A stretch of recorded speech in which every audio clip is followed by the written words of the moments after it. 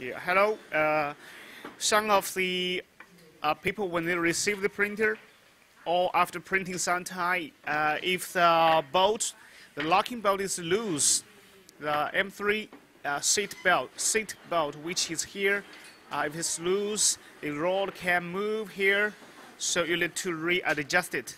So now, use one of clipper. 你这边也要松啊。 Ah. You just insert it in back, and then you turn it, turn it down, readjust it. When you fix this position, use a two millimeter hex wrench to tighten the bolt.